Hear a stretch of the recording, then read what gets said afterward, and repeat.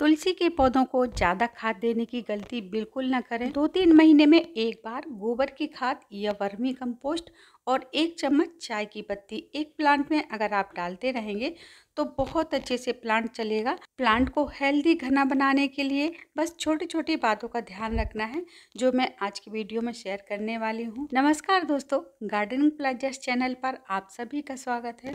बीज से उगाई हुए तुलसी के ये छोटे छोटे से प्लांट्स जिन्हें मैं बहुत सारे घरों में लगाना चाहती हूँ, आज मैं इनकी रिपोर्टिंग करने वाली हूँ। तुलसी के छोटे से पौधों की कैसे रिपोर्टिंग करनी है, कैसे घना बनाना है और कैसे इनकी केयर करनी है, ये सारी चीज़ें आज की वीडियो में बताने वाली हूँ। गर्मियों में अगर आपके तुलसी के पौधे खराब हो चुके हैं तो इस समय बीज से आप ढेर सारे पौधे उगा सकते हैं। तुलसी के बीज बोने के लिए या प्लांट लगाने के लिए सबसे पहले आपको ध्यान रखना है, जो मिट्टी आप यूज़ कर रहे हैं, उसमें 20 परसेंट रेत और 20 परसेंट गोबर की पुरानी खाद ज़रूर मिला लें। या आपके पास पुराने कंडे रखे हुए हैं तो इन्हें भी तोड़कर आप दो दिन पहले मिट्टी में मिलाकर रख दें। इसके अलावा थोड़ी सी नीम खली या नीम की सूखी हुई पत्तियाँ, एक चम्मच हल्दी पाउडर या एक चम्मच फंगी ज़रूर मिला लें। क्योंकि इसके सीड्स बहुत छोटे होते हैं तो मिट्टी की पतली सी लेयर ऊपर से डालना है और इस तरीके से उंगली से बीज को दबा दें तो जर्मेशन बहुत जल्दी होगा। ये देखिए,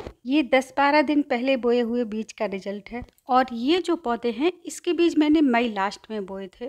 अभी बारिश की वजह से इसमें पानी थोड़ा ज़्यादा हो गया है, लेकिन मिट्टी अच्छी है तो ये अभी तुरंत निकल भी जाएगा। और ये जो पौधे हैं, इनको मैंने अपने इस प्लांट के मैच्योर सीड से मार्च में उगाया था। इतना बड़ा होने में इन्हें लगभग दो से ढाई महीने का समय लगा है। अभी तक मैंने इनको रिपोर्ट नहीं किया है, क्योंकि मैं वेट कर रही थी इनके घना होने का। और अब आप देख सकते हैं, ये कितने ज़्यादा घने हो रहे हैं। बहुत सारी ब्रांचेस इनमें नीचे की साइड से निकल के आ रही हैं। आमतौर पर क्या होता है, जो पौधे हम बीज से तैयार करते हैं, वो सीधे स्टिक की तरह लंबे होते जाते हैं। पौधों को घना बनाने के लिए हमें इनकी पिंचिंग करते रहना है। लेकिन पिंचिंग कौन सी स्टेज से शुरू करना है? यानी प्लांट कितना बड़ा होने के बाद हमें इसकी पिंचिंग शुरू करनी है?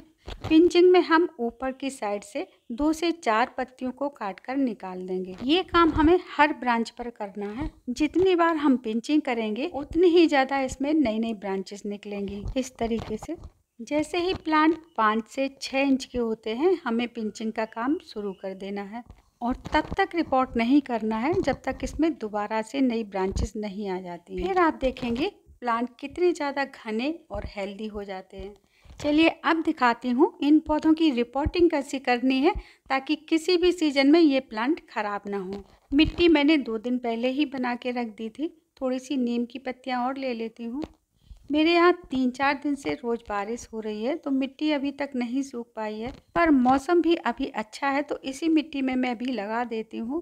अगर आप बिगनर्स हैं, यह प्लांट बार बार ख़राब हो जाते हैं तो मिट्टी के पॉट में प्लांट लगाइए, आधे से ज़्यादा समस्याएँ अपने आप ही ख़त्म हो जाएँगी। चूँकि गमले पुराने थे तो मैंने ये थोड़ा सा फंगीसाइड गमले में चारों तरफ़ से डाल दिया है। होल को मिट्टी के इस टुकड़े से बंद कर देते हैं। पॉट का होल बंद न हो इसके लिए तली में हम एक पतली सी लेयर डालेंगे रेत की। प्लांट लगाने से पहले इन छोटी छोटी बातों को ध्यान में ज़रूर रखें। गलतियाँ हम यहीं से शुरू कर देते हैं, इसलिए प्लांट जल्दी ख़राब हो जाते हैं। अब इसके ऊपर डालेंगे हम ये तैयार की हुई मिट्टी। मिट्टी पॉट में ऊपर तक नहीं भरना है, हमेशा दो तीन इंच पॉट को खाली रखेंगे। पौध लगाने के लिए थोड़ा सा गड्ढा कर लेते हैं। क्योंकि प्लांट अभी छोटे हैं तो जड़ें भी बहुत सॉफ्ट हैं तो हम किसी पतले टूल या चम्मच को गहराई से डालते हुए पौधों को धीरे से निकालेंगे ताकि इन जड़ें न टूटने पाएँ। इस तरह थोड़ी सी मिट्टी सहित इसे बाहर निकाल के सीधा पॉट में रख देंगे। अब यहाँ पर आपको ध्यान रखना है, मिट्टी को चारों तरफ़ से इस तरीके से दबा देंगे ताकि जड़ें खुली न रहें। इसी तरीके से हम बाकी के प्लांट को भी लगा लेंगे और उसके बाद ये पौधे लगभग दो महीने के हो चुके हैं तो रूट्स इसमें देखिए कितनी अच्छी बन चुकी हैं। बस इसी एज पर आपको रिपोर्ट करना है। बहुत ज़्यादा छोटे या बहुत ज़्यादा बड़े पौधों की रिपोर्टिंग करने के बाद इन्हें सरवाइव करने में थोड़ा समय लगता है। सही एज और सही समय पर पौधों को रिपोर्ट करेंगे तो ये बिल्कुल स्ट्रेस में नहीं आएँगे, तुरंत ग्रोथ स्टार्ट हो जाएगी। पॉट थोड़ा बड़ा था तो मैंने एक ही पॉट में तीन चार प्लांट लगा दिए हैं। कुछ पौधे गिफ्ट के लिए मैं छोटे छोटे पॉली बैग और गिलास में लगा देती हूँ ताकि ले जाने में आसानी हो। मेरे आसपास जिसके पास तुलसी का प्लांट नहीं है, वो ले सकता है। इन छोटे छोटे पौधों को कीड़ों से बचाने के लिए थोड़ा सा हल्दी पाउडर ऊपर से छिड़क देंगे।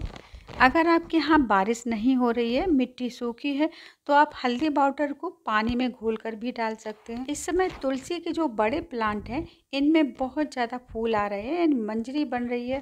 तो प्लांट को हेल्दी बनाने के लिए और कीड़ों से बचाने के लिए इन मंजरी को हम फूल बनने से पहले ही तोड़ देंगे। क्योंकि मंजरी के अंदर कीड़ों को छिपने की जगह मिल जाती है तो ये परमानेंट प्लांट पर बने रहते हैं, जिससे प्लांट बहुत जल्दी खराब भी होने लगता है। अगर आपको तुलसी की बीज चाहिए तो कुछ मंजरी को प्लांट के ऊपर तब तक छोड़ दें, जब तक ये पूरी तरह से सूख ना जाए। क्योंकि जब आप अच्छी तरह से सूखी हुई मैच्योर मंजरी को बोएँगे तभी अच्छा जर्मिनेशन होगा और नए प्लांट हेल्दी बनेंगे। इस तरीके से आप तुलसी के ढेर सारे पौधे लगाकर गार्डन के एक कॉर्नर को वृंदावन बना सकते हैं। Thank you